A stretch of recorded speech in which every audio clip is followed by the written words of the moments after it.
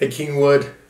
Today is Good Friday, and I'd like to remind you to join us at 7 p.m. tonight on Facebook Live for our Good Friday service together. In preparation, just get your family, go ahead and pour your juice, or I, I know that we're all in a kind of in a bind right now. If you don't have juice, just pour some water and uh, light a candle and get some bread, and uh, we'll do this together tonight at 7 p.m. at Facebook Live. So, what makes this day so good? Because the day that it happened, the world of Jesus would have considered it far from good. To the disciples and all of the followers in Jesus' ministry, not only was their leader gone, but the reason he was their leader is because they had placed their belief in him that he was the Son of God. And now the Son of God was dead. How could this be good?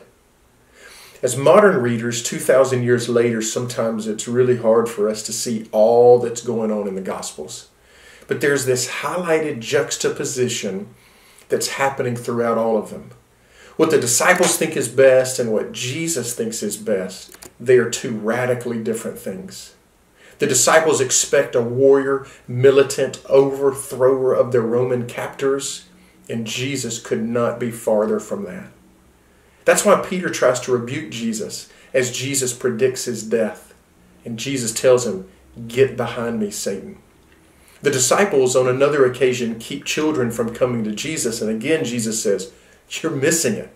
Let them come to me. Even James and John come to Jesus and they ask him, Would it be okay if one of us could sit on your right and the other one of us sit on your left when you enter your glory? For them, glory is the crown and glory is the throne. But for Jesus, glory is the cross.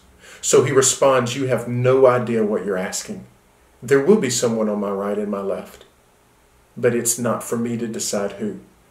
And in Jesus' glory, two thieves flank him. Only God places two sinners beside him in his glory. Peter gets a really hard time for deserting Jesus, but don't forget, he picked up a sword and was ready to fight an entire Roman garrison of soldiers until Jesus told him, Peter, put the sword away. This isn't the way. So God on the cross is far from good to this band of disciples. But it is in this event, more than any other in the entire scope of history, the cross, that we see clearest the character, the nature, and the agenda of God. Today, I'd like to remind you that there was once a day that everyone thought was terrible, and yet God knew it was good. Is there something happening in your life today which you need a new perspective? God has a unique way of looking at things. Why not ask Him? Father, today, it's possible that there are many of my friends and family and people that I love and that I serve that are watching this and just thinking that things are terrible. But somehow you have a way of seeing good or bringing out the good in those things that we see as bad. Today I pray for each one of them. Bring something good, make something good out of something that's difficult.